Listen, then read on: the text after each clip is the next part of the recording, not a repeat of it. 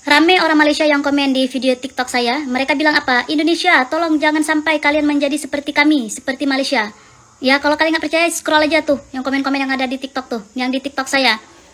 Bahkan ada satu orang yang ngomong begini, orang Rohingya di Malaysia itu sudah ibarat nasi telah menjadi bubur. Udah tidak bisa lagi ditangani karena jumlahnya sudah ratusan ribu. Hari ini di Aceh sudah sampai seribuan.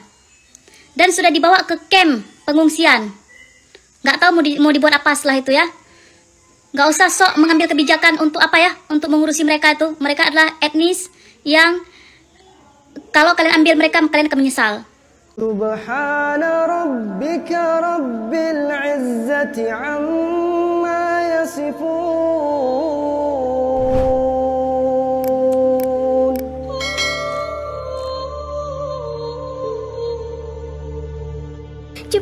Catatan Islam yang kami uraikan dalam bentuk video. Semoga media ini bisa menambah pengetahuan, renungan, dan menambah wawasan dari kejadian yang pantas untuk kita ketahui bersama.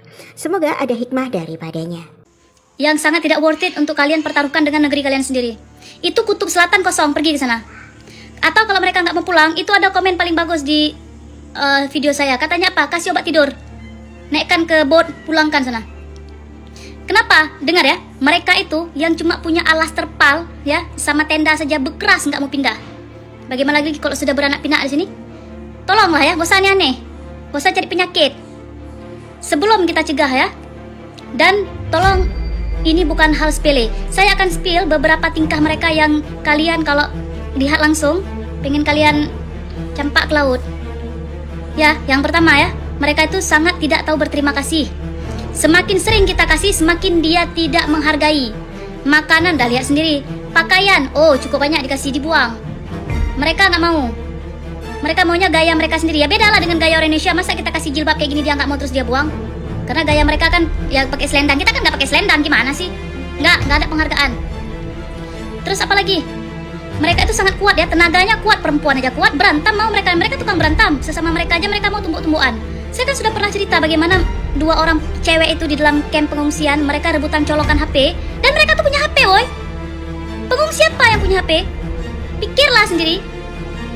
Mereka tuh punya HP ya dan mereka rebutan colokan dan mereka berantem gara-gara colokan HP. Kemudian mereka berantem berdua dengan apa? Jambak-jambakan. Nah, satu orang cewek itu terjambak rambut dia, woi, tercabut rambut dia segenggam. Itu berdua dia berantem. Gimana lagi dengan orang kita? Kalian pikir dia takut sama orang kita? Nggak takut dia. Karena dia itu ada yang melindungi.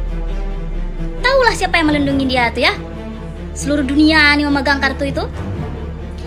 Maka sangat dipertanyakan tentang laut kita di Aceh nih. Udah macam jalan tol, mulus sekali sampainya, bergelombang-gelombang. Gelombang pertama, gelombang kedua meribek katru. Udah ribuan orang sampai ke sini. Itu laut gimana lu? Kosong melempong bagaimana? Kalau memang nggak senang dibilang kayak gitu, kok bisa orang masuk kayak gitu pula? Nggak ada yang jaga apa laut tuh? Itu negara kalau lautnya nggak ada yang jaga kan mengerikan namanya. Siapa-siapa bisa datang. Ini udah terbukti ya. Dan nggak ada orang yang namanya terdampar bolak-balik asli dia dia aja yang terdampar. Terdampar apa? Terdamparnya asli satu tujuan aja di Aceh aja. Udah sampai di Aceh menyebar ke mana-mana. Tuh di Riau udah, udah banyak orang turis itu. Mengapa Indonesia bersedia menerima pengungsi Rohingya? Berdasarkan temuan hasil penelitian diperoleh kesimpulan bahwasannya perubahan sikap Indonesia yang akhirnya bersedia menerima para pengungsi etnis Rohingya dikarenakan identitas Indonesia sebagai negara yang menjunjung tinggi norma hak asasi manusia atau HAM. Namun, ada apakah di balik pengusiran pengungsi Rohingya oleh mahasiswa di Aceh? Penjelasan oleh Rohimatun menjelaskan alasannya berada di Aceh karena adanya ancaman yang bertubi-tubi. Di Camp Cok Basar, Bangladesh, Rohingya yang bermukim di Aceh, ia punya harapan untuk masa depan anak-anaknya dengan lebih baik, sebagaimana orang lain pada umumnya. Kenapa Rohingya kabur dari Bangladesh?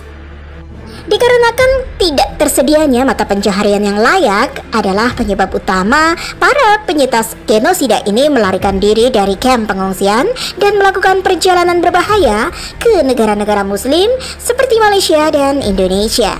Namun, apa yang ditakutkan sejumlah warga Aceh seperti salah seorang TikToker ini benar-benar terbukti.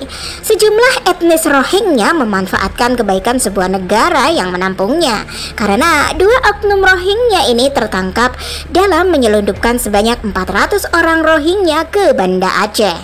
Sebagaimana laporan catatan media pada tanggal 23 Desember 2023 lalu.